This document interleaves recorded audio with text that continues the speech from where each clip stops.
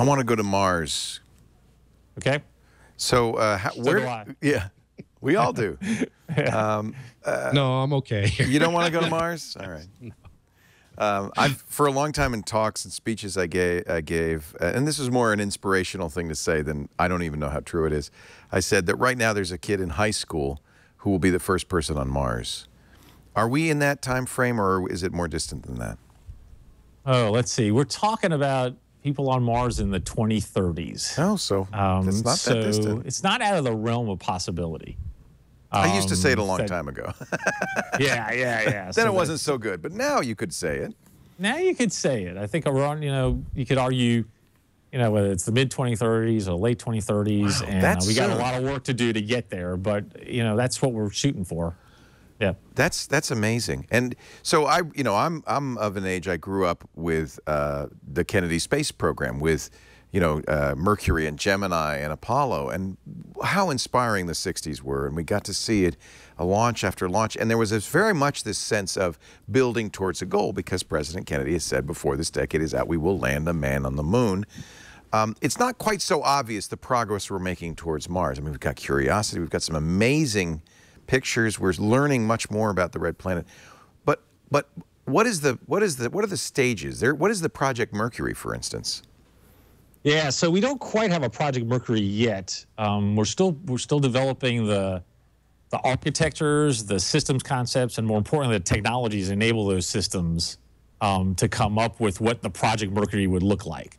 Um, and where we're at now is we're iterating between you know architectures, systems, and technologies um, to try to figure out what's the most affordable um, and safe way to um, do humans human missions to Mars. So right now we're doing uh, research on an international space station, um, particularly on research to keep the astronauts healthy, um, safe, and productive in the space environment, um, and and both through uh, protections and countermeasures. So that's really important.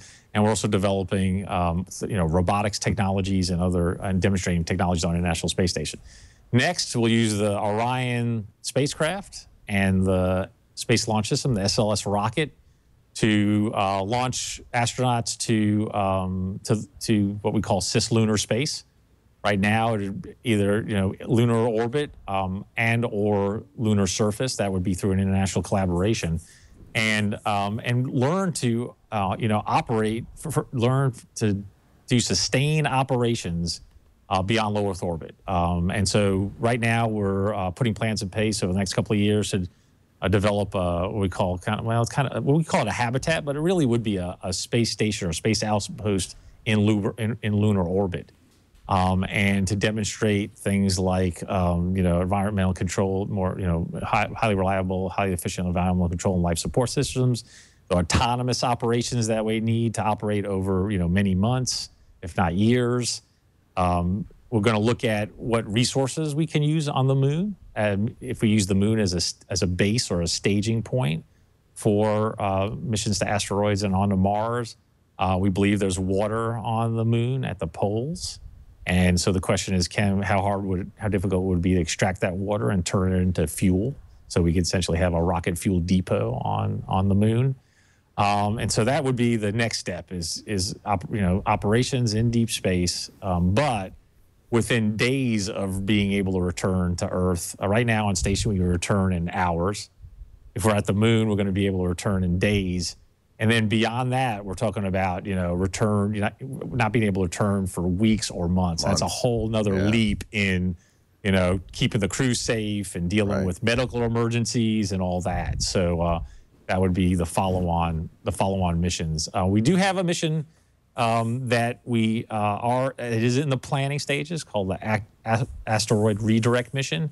Has two phases. One is a robotic mission that would go to an asteroid and rendezvous with an asteroid and actually scoop up a boulder um, from that asteroid and then bring it back to a uh, stable lunar orbit. And then the crew would we launch crew to it.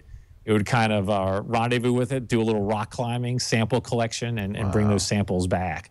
So that's one way in which we can demonstrate in a in kind of a stepwise approach, demonstrate going and getting an asteroid or a piece of an asteroid, bringing it back, and having crew interact with it, and look, How and then we'll get samples rock back and look what's there. Go ahead.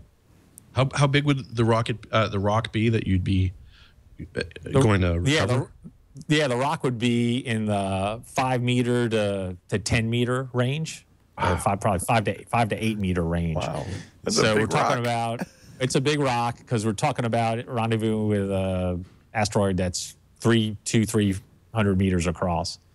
Um, so and also we would also demonstrate um, uh, planetary protection. So after we Right. grab the boulder off the surface, we would then have the spacecraft orbit the um, the larger asteroid, the large asteroid, and demonstrate we could deflect the trajectory of the asteroid just by using the gravitational forces between the spacecraft and the rock, piece of the asteroid, and the asteroid. So it's called the gravity tractor approach to, uh, pla- to beam. planetary protection. So that is um, if we did, can detect asteroids that may hit the Earth far enough away, we can intercept them far enough out, and then it wouldn't take much of a deflection to have them miss Earth, and then we can use this just the gravitational forces and this gravity tractor approach to uh, to protect the planet.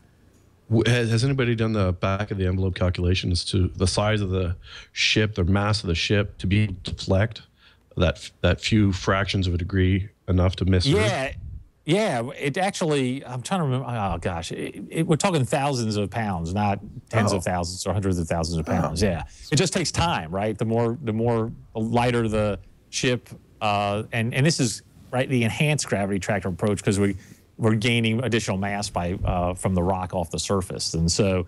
Um, that, that could be your approach where you actually augment your launch mass by grabbing a rock off the surface. So yes, So something the size uh, of a space shuttle could do it. It- uh, if given enough time, yes. How is that really? Uh, it's the Bruce Willis mission. Is it really? Yeah, well, the deflect or destroy asteroids. Yeah. yeah, we don't have to destroy it. We can just push it, nudge it, even Just nudge Tractor it. beam Again, it.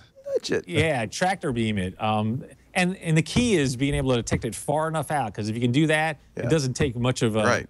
A deflection to have it miss the Earth. The, uh, now, if it's a little bit closer, then you might not have enough time, and you might have to go for the Bruce Willis. How urgent? How urgent is that? By the way, is it really a? a not, I mean, it's been a while since an asteroid's hit the So- Earth.